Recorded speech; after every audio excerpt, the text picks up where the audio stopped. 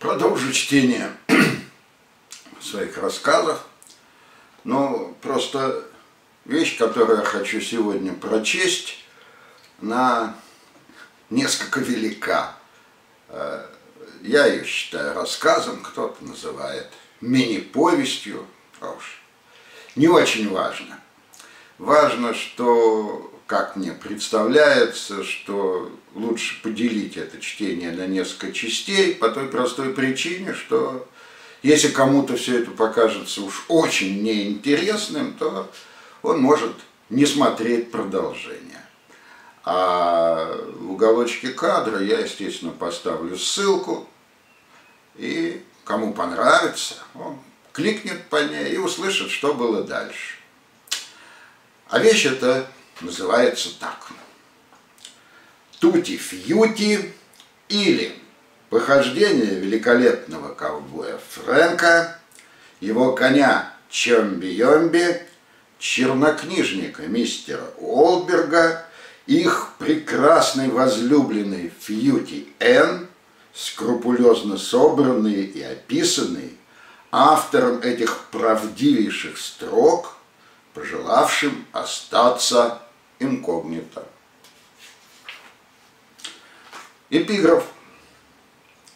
Из диссонансов создается прекраснейшая гармония. Гераклит Эфесский. Глава первая.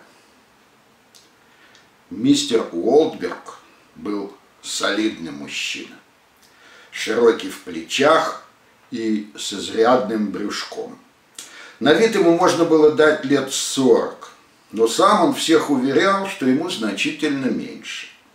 На толстых пальцах мистера Уолберга всегда красовались огромные перстни с вызывающе блестящими камнями, которые все принимали за грубые работы подделки, хотя это были чистейшие воды бриллианты.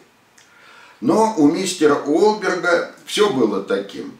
Рубашка с вечно с перекошенным воротником, галстук, завязанный как удавка на висельнике, или пиджак, будто с чужого плеча. И только посвященные знали, что шьет свои пиджаки мистер Уолберг у самого дорогого портного, а рубашки не покупает по случаю на какой-нибудь распродаже, а заказывает и не иначе, как из столицы. Один лишь цилиндр, венчающий его кудлатую голову, составлял исключение. В самый пасмурный день на его тулье без труда различались до 24 оттенков, отчего по городу даже ходили слухи, будто этот цилиндр не преломляет свет, как делал бы любой другой нормальный цилиндр, а каким-то непонятнейшим образом излучает его. Да, мы совсем забыли лицо. Оно было мясистым и красным. Медузоподобные щеки обволакивали многоярусный подбородок, незаметно перетекающий в складки жира на шее. Уши отсутствовали, но не потому, что их не было. Просто мистер Уолберг прикрывал их пушистыми, каштановыми, в скобках заметь их некрашенными волосами. Но главное, конечно, были глаза.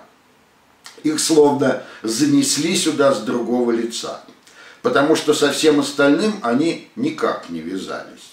Под тяжелыми дугами черных бровей, подпертых рыхлой округлостью щек, они ютились в двух узких щелочках, и тем не менее сохраняли свободу, подвижность и не в пример всей прочей монументальности производили впечатление слабости и незащищенности.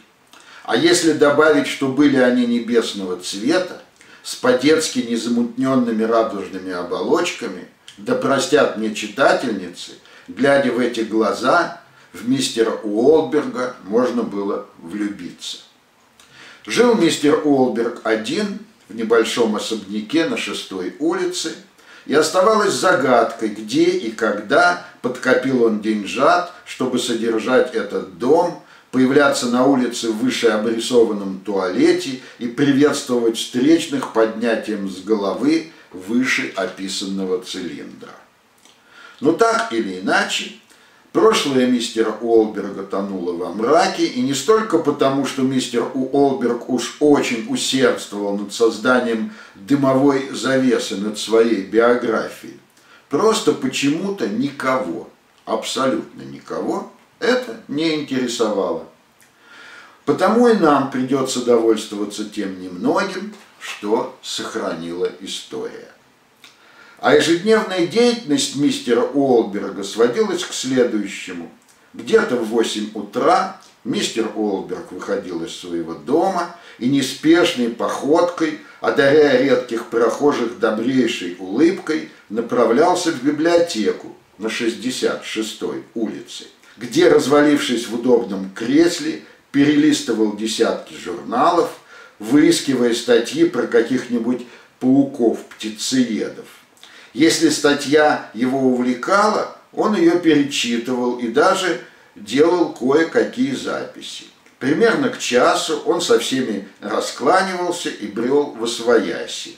А после обеда обосновывался уже в своей библиотеке, где обкладывался толщенными фолиантами и настолько уходил в чтение, что зачастую забывал тушить сигарету, отчего в доме его всегда нечем было дышать, а рабочий стол хранил десятки подпален, могущих обратиться, но по жребию судьбы не обратившихся в пожар.